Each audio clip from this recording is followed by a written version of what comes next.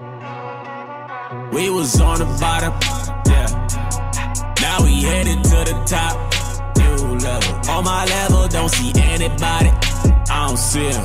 This right here could never stop. This could never stop. Hey, this right here could never stop. Hold up, nah, nah. Hey, this right here could never stop. Hold up, nah, nah. Hey, this right here could never stop. Hold up, nah, nah. Hey, this right here could never stop. Hold up, nah, nah. One time, one time. Hey, I live on the job, right? Yeah, I'm always at work, right? Real people stay by me, right? Haters wanna do hurt, right? Know they trying to stop me, right? Drag my name through dirt, right? I don't feed into the hate, right? I just answer with a smirk, facts. I feel. Give me Isaiah 5 and 11 because a lot of our people, we always drunk. You know what?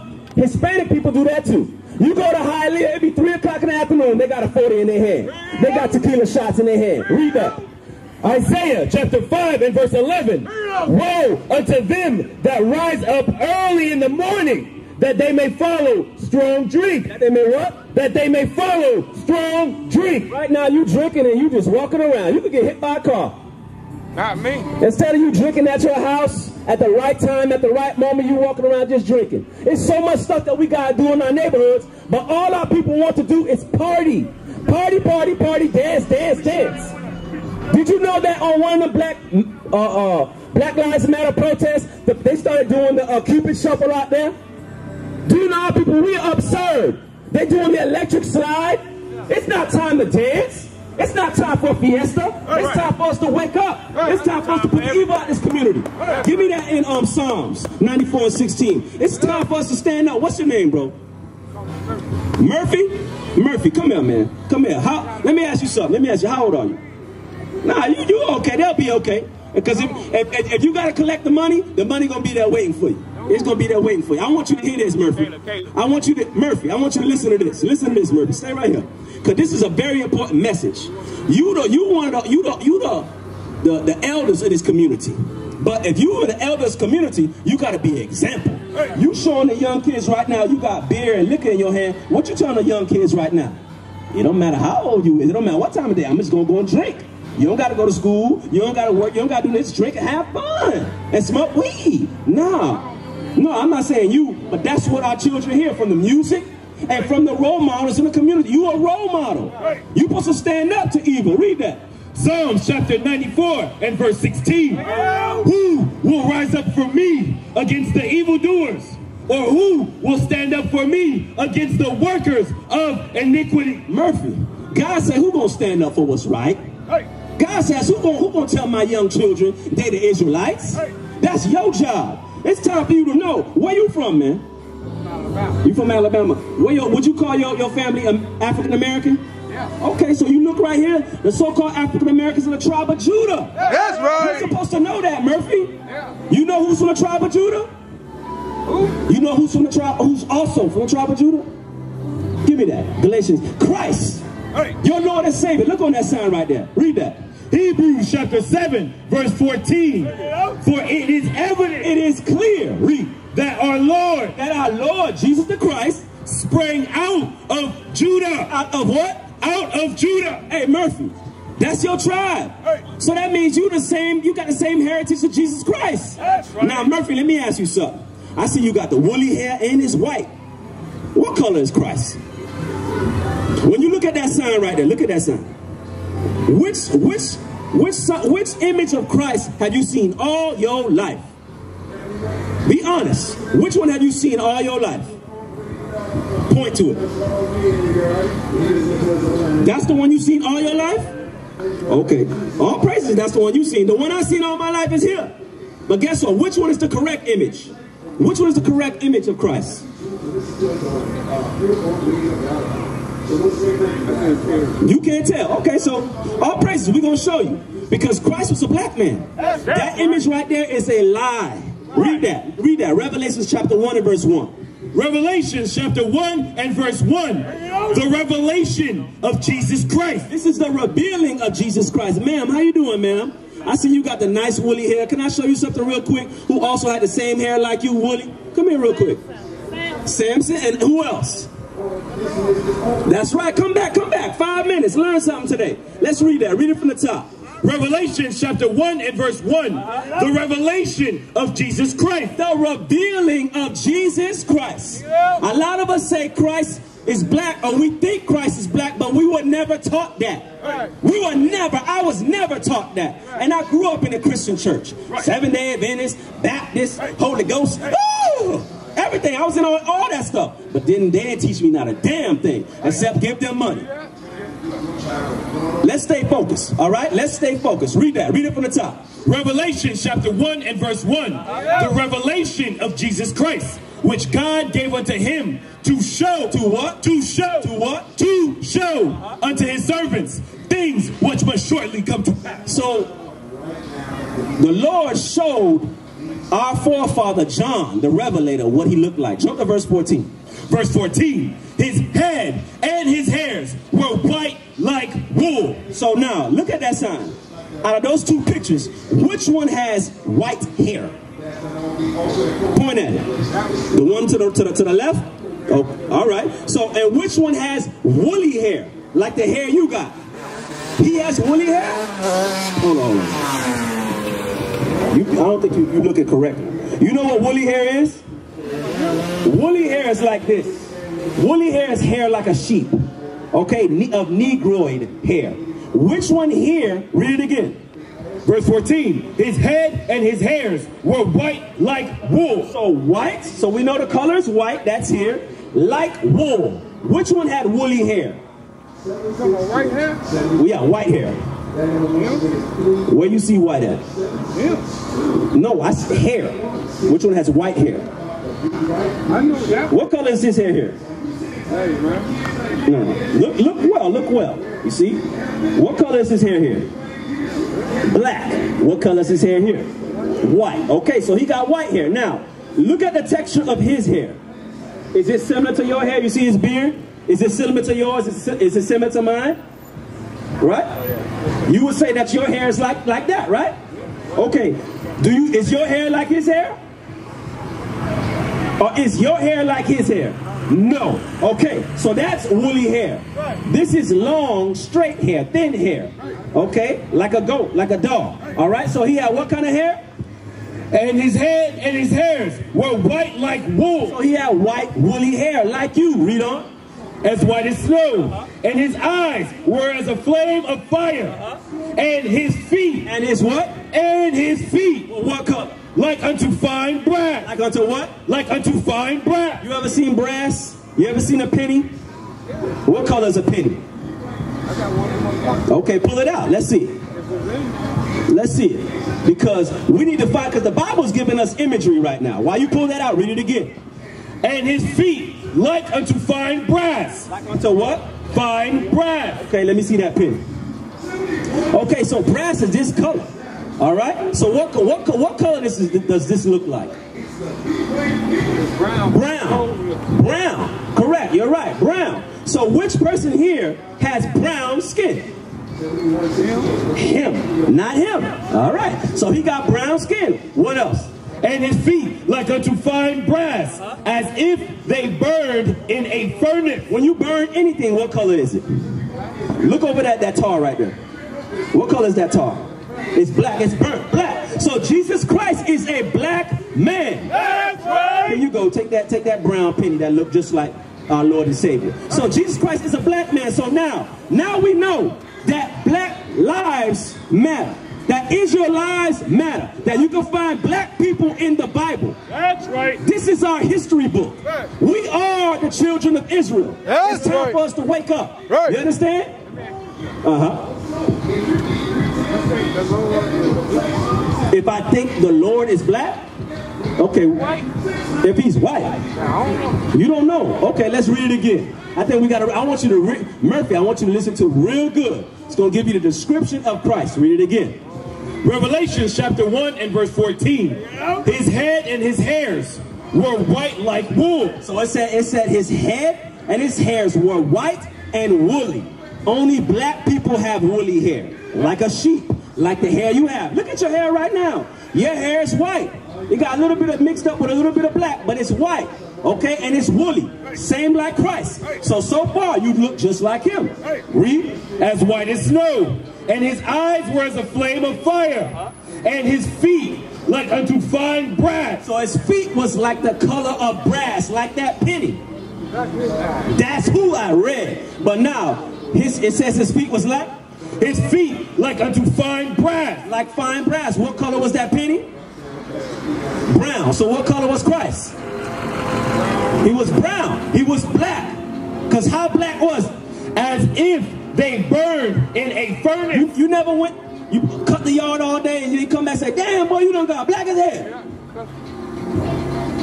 There's, damn, it, there's nothing wrong saying damn. It's damn, damn is in the Bible. Right? Let them be damn. So, my, what, I don't want you to lose the point. My point is that Jesus Christ is a black man. That's right. That is your heritage. Right. So Murphy, it's time for you to change, Murphy. It's time for you to change. Now let's show you something. Give me Titus. Give me Titus too. All right? Give me Titus. Hold on. I want you to. Oh, how he got on there? Ooh, okay, let's get that. Let's get that. Give me Matthew chapter 24. Let's get that. How he got? We're going to show you. We're going to show you. He got there through slavery. That's like when we were slaves, live up this sign. Caleb, soldier, lift up that sign. Look right here. What do you see right here? What do you see right there? You see a what? A cross. Every time you see that cross, who you see? You see him. There you go. So this cross, they were killing our people way back in the 1400s, even earlier, teaching them Christianity, hanging them, burning them on fire to worship the Roman Catholic Church. That's where that, that image came from. That's why Christ told us this, Murphy. Listen to what Christ told you. Matthew chapter 24 and verse 4. And Jesus answered and said unto them, Take heed that no man deceive you. Christ is telling you, Murphy, don't let nobody trick you no more. Stop letting people tell you that Christ was a white man. Stop letting people tell you that the, the tribe of Judah was white. That the, the Jewish people, meaning they wish they were Jews, are the real Jews. No, they're not. You're the real Jew. You are from the tribe of Judah. That's your heritage right here. Read. For many shall come in my name. So the Bible says many people was going to come in his name, pretending that they were Christ. That happened during slavery. The Roman Catholic Church, Christianity taught our people the white image. Okay? They taught us through slavery. That was the Willie Lynch effect. For many shall come in my name, saying, I am Christ. Saying, I am Christ. This is Caesar Borgia. Okay? This is uh, uh, the, the, the Pope's son. Okay, during the 1400s, they painted his picture. And in the process of time, this image has stayed, and that's what they taught us. Because we have 400 years where we couldn't read or write. Right. So during that time, they taught us that. But guess what? Isaac could read, master. We can read now. Now it's time for us to wake up. Read it again. Matthew chapter 24 and verse 4. And Jesus answered and said unto them, Take heed that no man deceive you. For many shall come in my name, saying, I am Christ. saying I am Christian, saying I love God, saying you could do whatever you want. You could drink out in the broad daylight. You could smoke weed. You could be a homosexual. You could kill your brother. No, that's not in the Bible. That is not in the Bible. You already know that. Okay, so now, what do you got to do? What does God require of you? What does God want from you?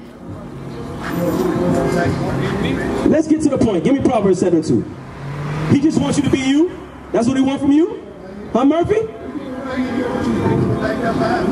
Proverbs 7 2. Come on. Proverbs chapter 7 and verse 2. Bring it out. Keep my commandments and live. Do what? Keep my commandments and live. Murphy, God says you got to keep his commandments to have a better life. You got to teach these young men how to be something. Give me Titus 2. Now let's find out how do you teach these young men? How are you going to be a role model to the young men out here? Because Murphy, you you could be somebody's father out here. You got four kids, so you need to be teaching them this. You got to teach them this, Murphy. It's time to put the, the, the alcohol down and get your mind right and be sober. Because right now, you can barely talk to me. Because you're not all the way there. But the Lord to deal with you right now. Read. Titus chapter 2 and verse 1. But speak thou the things which become sound doctrine. Come what? Sound doctrine. You're going to hear the doctrine of God right now. Get to the point. Verse 2. That the aged man, That what? that the aged men. Murphy, you an aged man. You an elder in this community. But you can't be an elder in wickedness. You can't be an elder in the, in the lust of the world. You got to be an elder in righteousness. Read on. That the aged men be sober. Be what? Be sober. Be what? Be sober. Murphy, you got to be sober, man. You sober? Okay, if you sober, throw that throw that drink down on the floor. Put that drink down if you sober. Say, say, say that again. I just bumped. You just bought this. You see what I'm saying? And what time is it? It's 8 o'clock. I want to go get my money. You, but you, you about to go get some money. You, when you get money, don't you got to count it? So how you going to count it if you drunk? How you going to count it if you not sober? Read it again. Oh. Titus chapter 2 and verse 1. 3. 2. That the aged men be sober. You got to be sober. You dealing with money. You dealing with you working. You got to be sober. You can't be drunk. Read. Grave. Grave. Serious. It's time for you to be serious, Murphy. We the men. We the we the men. We're supposed to be leading our community in righteousness. What are you teaching these young men right here? Are we just supposed to walk around here drinking? Read. Temperate. Temperate, meaning you got to be able to control your emotions. Meaning, if, if, if it's time for you to put the drink down, you can put the drink down. It's just a drink. That ain't life. God says his commandments is life. Read. Sound in faith. Sound in faith. That's the real faith. Being able to put something away and be able to listen to the word of God and not be intoxicated and be sober-minded and teach your young men how to be men. Read. Sound in faith. In charity. In patience. In patience. It's going to take patience to quit them the old ways that you're doing right now. Give me Titus 3 and 3. Because listen here, we young, we might not be as old as you, Murphy, but all of us was, was living a foolishness life. All of us. Whether it was smoking weed, sleeping with woman to woman, going to the club, stealing. All of us was living that type of life. But we changed to be better role models in our communities. You 61, so you need to put that down. You shouldn't be drinking like that now. You, we got coronavirus out here. You're supposed to be getting yourself healthy. You're supposed to be taking care of your body, not drinking all day. Because let me tell you, one beer ain't going to get you like that. You've been drinking more than that. You have, you have what? Five? This is, this is what we're talking about. That is not sober. That is not an example for our people. Read. Titus chapter 3 and verse 3. For we ourselves also were sometimes foolish. Even ourselves, we used to be foolish. Look, look at the example you teaching. And I know that that brother is, is, is younger than you. What he got in his hand? He got a beard too. That's what we teaching one another. We teaching one another evil. Give me uh, Jeremiah 2 and 33, man. Give me that. We teaching our, we teaching each other evil. We're supposed to teach each other good stuff. Read, come on. Jeremiah chapter 2 and verse 33. 2 and 33. Why trimmest thou thy way to seek love? God says, why you doing wicked stuff just because you want to do the stuff that you love? You doing things that's wicked. You know you ain't supposed to be drinking like that. You're supposed to be drinking mo moderately. A drink here, a drink there. You're supposed to know what's your limit. But now you walking out here stumbling, you can't even read nothing. You can't even hold a conversation with a brother. What if I needed some directions around here? You wouldn't be able to tell me. What if I want to know what is a how do I get to the kingdom of God? What would you tell me? What would you tell me, Murphy?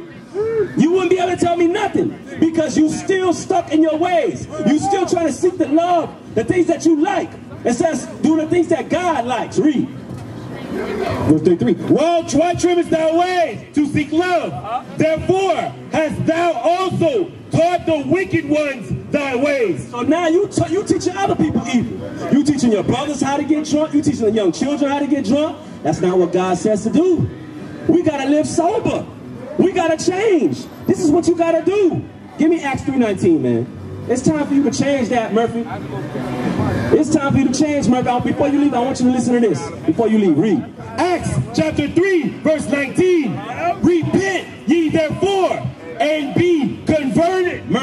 Lord says to repent. Stop getting drunk. Stop drinking around. Learn who you are. You learned today that you what? That Christ was what? What did you learn today? What did we tell you? I told you. Okay, other than that, what did I, what significant, what did I tell you today? About, about our Lord and Savior. What about him? About the kid, okay, what else? You see, you see what I'm saying? When you sober, you can't remember. We told you that Christ is a black man. That's right. Okay, that's what you need to remember. We told you to do what? Be sober. And you still didn't put that drink down. You still didn't put that drink down. And you need to put it down. Give me uh, Ephesians 5. Let me show you something. Ephesians 5. Because you got you gotta learn how to drink, bro. There's nothing wrong with drinking, but we cannot be drunk. We gotta learn how to drink moderately. Read. Ephesians chapter 5, verse 18. Bring it out. And be not drunk. What? And be not drunk. Bible says be not drunk. That's the law God give you right now, Murphy. Stop being drunk. You drunk right now. You didn't even remember that I told you the most important thing. Your Lord and Savior was a black man. Read. And be not drunk with wine, With wine or any strong drink. Read. wherein is excess, but be filled with the Spirit. So God says you're supposed to fill yourself with the Spirit. That's what you're supposed to feel. Because you know why you're drinking? Because you're trying to escape. You're trying to escape your problems. But it don't matter what you do, your problems still going to stay there. You want to get rid of your problems? You want to have a better life? You got to start keeping the commandments. We used to scream black power while heroin was pushed. But at the end of the day, nothing's in vain. IUIC has been given a vision. The tents of Judah has risen. Many has attempted the mission. Minor murmuring, omitting, and missing the mark. Just reading that he had the flame of fire in his eyes gave us the spark. We on Paul's mission. We out on the road, purple and gold. From Mexico, Cuba, Haiti, Ghana, Sierra Leone. 144,000 boots banging, concrete crackling. These are our men repented at heart. The scriptures is proof. IUIC, we deliver the truth.